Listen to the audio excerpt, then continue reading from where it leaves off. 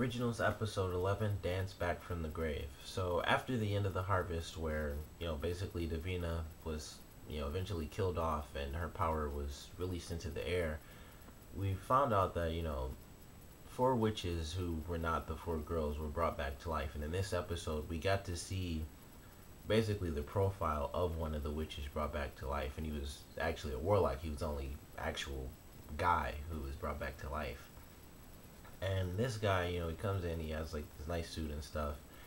He's an insanely powerful character, and I really thought his character was interesting. And one of the best things about this episode that I thought was actually a pretty cool twist is the fact that in the end he does actually sacrifice himself to Celeste, and it made it a little bit cooler because initially I thought he escaped so he'd come back, you know, with the other witches, and it would sort of be an all-out you know battle because the witches are obviously really powerful.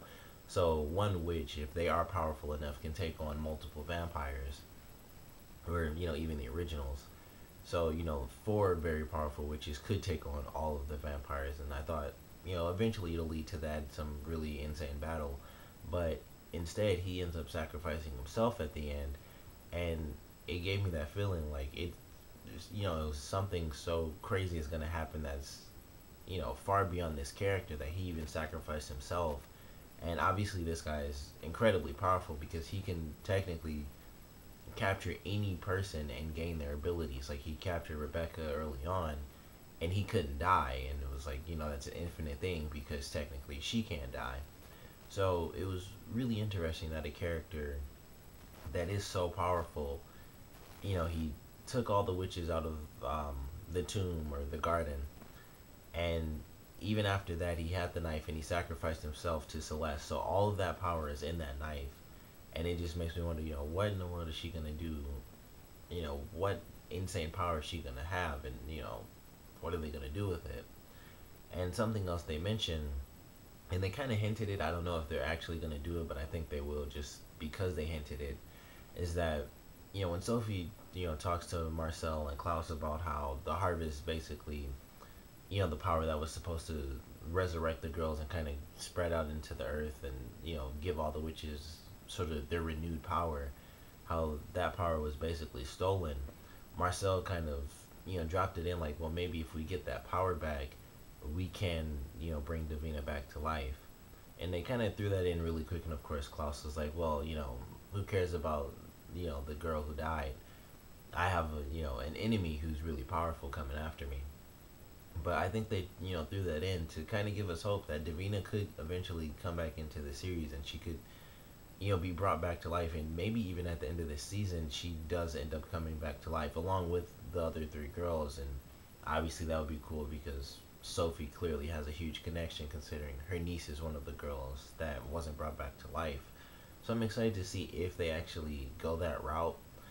But if they do, I think it won't happen until the very end and it'll be kind of when Celeste is incredibly powerful, and they'll kind of kill her off, and then the power will kind of just dissipate because it won't just die; it'll just you know transfer like energy or something like kinetic potential.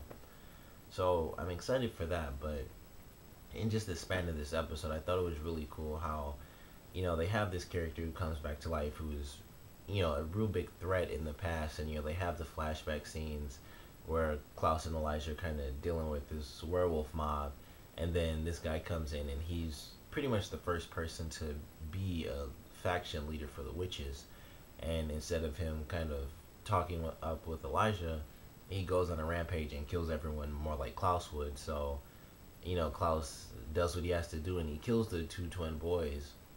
And, you know, he did that because he figured out, you know, what is this power? How does he work? And you know things like that. And it was really cool to kind of get that insight from Marcel when he was um, talking to Cami and I thought that was pretty cool how they just you know how they showed him. And it was typical Klaus stuff but it was kind of cool because we didn't really get to see that too much. I don't at least I not that I can recall if we ever seen that even in the Vampire Diaries where he kind of befriends people. It's more like you know he's doing that now and you already know exactly what his plan is. And even though we do you know, in that time, you know, we get it from Marcel's viewpoint. Like, I don't know why he was being so friendly to this guy. And then I figured out it was because, you know he was trying to get to know him and see what his weaknesses were, even though it seemed like he was just befriending him. So it was cool to have them have that confrontation. And one of my favorite things about this was the flashback, because in the end, what they did, which kind of ties into the beginning of the episode, was Celeste standing in front of like the large tomb with all the different names, which are basically her different incarnations. This was like her, I guess technically her second incarnation, and they kind of led into a story that's kind of bound in the past where we kind of know the outcome where basically it didn't work and you know Marcel and Rebekah don't end up together but it was an interesting story because it's about Rebekah's father so I think we'll get to see him at least in the past but we'll get to see him and how Rebekah and Marcel ended up working with Celeste you know a long time ago and I'm sure that that'll of course tie into you know the present time and she'll kind of reveal that to them in some way or she'll use it you know possibly against them you know for Klaus and say like you know I know you don't know this but like hundreds of years ago you know they were they did this or not hundreds but like 100 years ago or less than that but you know they did this and they were trying to you know kill you off because they wanted to be together so, you know, even that could come up, but I thought it was a really cool prospect for them to kind of introduce a new storyline that's actually in the past. So we technically, like I said, know the outcome, but it's, you know, more about the journey in this case. And so I'm definitely excited for that. And, you know, some of the other stuff, definitely curious to see if some of the vampires who left Klaus when he kind of gave him that ultimatum, mostly the one that the guy that Rebekah was working with, I'm curious to see, you know, will they end up working with the witches, which I highly doubt. But you know, maybe that one specific character, since he actually has a name and speaking lines, maybe he'll have some interesting role now that he's kind of off on his own, like some of the other vampires who left. And I'm curious to see if he kind of goes rogue and, you know, like I said, picks up with the witches or, you know, learns some secret and then tells Klaus or tells somebody else, and then you know it kind of brings things to a head. But I'm definitely excited to see where the story goes now. And I'm, I definitely can't wait, you know, for the next two weeks because hopefully the episodes will be on the other two witches and, you know, incorporate some of the past sections with Celeste and um, Marcel and Rebekah. But ultimately, love this episode. Love the guy that they had in. It sucks that he died because, like I said, I thought his character had a ton of potential with the fact that he could just capture anyone but they kind of hit the peak when he captured Rebekah in the episode. So it kind of made sense. Like, you know, they kind of showed who he could catch. He caught an original. He's, you know, immortal until they basically took her out of the spell.